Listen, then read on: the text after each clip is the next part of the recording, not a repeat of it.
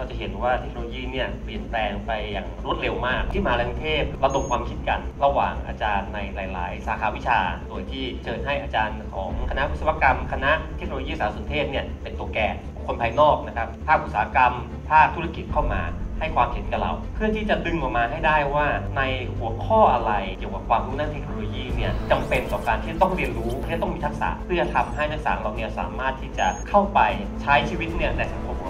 ได้ อันแรกคือเรื่องของ Internet of Things เรื่องของ Blockchain Mobile Application Big Data แล้วก็ Data Analytics เรื่องของ UX UI เทคโนโลยี 5G AR VR หรือ MR ก็แล้วแต่ เรื่องของ Coding เรื่องของ AI แล้วก็เรื่องของ Cloud Service ในทุกๆปีเราจะต้องมีการเข้ามาพูดคุยกันว่าที่จำเป็นจะต้องคงอันไหนไว้หรือปรับเปลี่ยนอันไหนเนี่ยเพื่อให้มันเดินทางไปพร้อมกับการเปลี่ยนแปลงของโลกในอนาคตเนี่ยได้ เราได้จากการเรียนรู้ของเด็กนักศึกษาของเราเนี่ยออกมาเป็น3ระดับ ในระดับแรกนะครับที่เราเรียกว่า Digital Competency จะเป็นระดับที่เราจะเอาทั้ง 10 หัวข้อ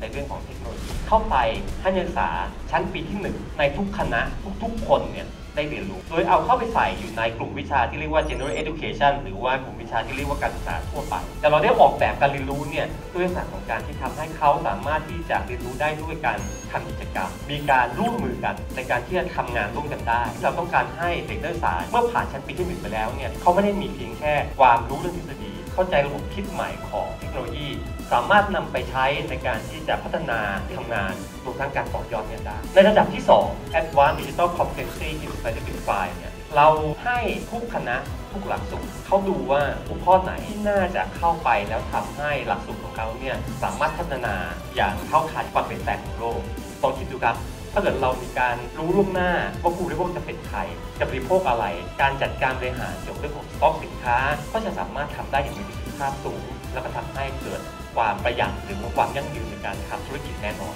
ในเลเวลสุดท้ายเลเวลที่3เลเวลที่เรียกว่าเป็น professional อันนี้เนี่ยจะถูกบรรจุเข้าไปในหลักสูตรที่เป็นหลักสูตรด้านของเทคโนโลยีโดยตรงซึ่งเรามี cluster ของ Creative Technology ไม่ว่าจะเป็นในสาขาวิชามัลติมีเดียและ Entertainment วิชาการคอมพิวเตอร์และโรบอติกเกม Animation Innovative Media Production เรื่องของ Event Production Product Design เรามีการขับเคลื่อนเรื่องนี้โดยเทคโนโลยีมาเป็นระยะเวลาพอสมควรแล้ว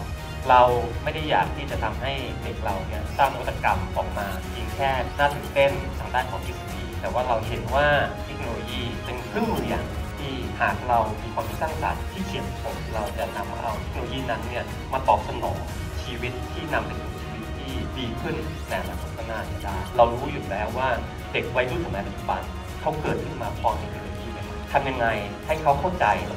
เขาเชื่อมโยงระบบ ได้ให้เขาสามารถที่จะนำเอาเทคโนโลยีต่างๆเหล่านั้นเนี่ยมาใช้โดยที่เกิดมูลค่ารับคุณค่าที่สูงขึ้นมาเพิ่มขึ้นเติมได้เพราะเราเชื่อครับว่าเทคโนโลยีบวกความสร้างสรรค์จะสร้างอนาคตที่ไกลขอบคุณมากครับ